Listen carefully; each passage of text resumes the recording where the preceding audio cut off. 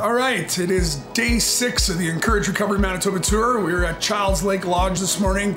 Uh, beautiful scenery out here, beautiful lake view that we've got in the little cabin. So today we start off, we get to do the nice scenic ride back out of this uh, Duck Mountain Park, which is was pretty incredible ride coming in. So we're looking forward to doing that on the way back out.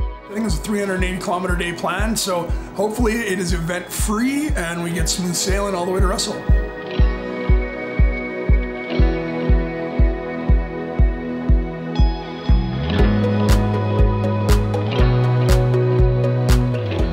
Right, so recap of day six. We started up in Childs Lake today, rode all the way down back to Grandview, uh, and then around the north side of Riding Mountain National Park, where we ran into the Snow Track Snowmobile Club.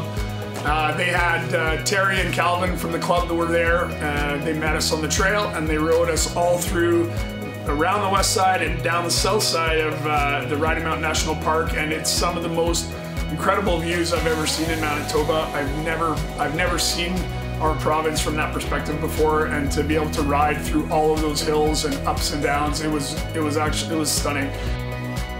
But yeah, we had one crash. One guy in our crew went down today. Uh, wasn't too bad. Went for a couple tumbles, and it happened to be the wheelchair. Came off the back. She's a little torqued. I think it's just a bent axle which is not a big deal, except for I didn't bring any spare axles, so it's a bit of a problem. So anyways, uh, otherwise all was well. The last 60 kilometers of the day, we had unbelievable rolling hills through farmers field with perfectly groomed trails. It was so fun and so fast and it was a great way to finish the day. So stay tuned for us. We're going to take a day off tomorrow. We've got a couple other things everyone's been asking me about how my sled is set up and how the wheelchair goes on. It's usually quite secure. This is a bad example of that today but uh, we'll do a little bit of some of those videos and show some of you guys uh, what, what the chair and how my sled's been adapted for me. And yeah, I uh, hope to see you again on day seven.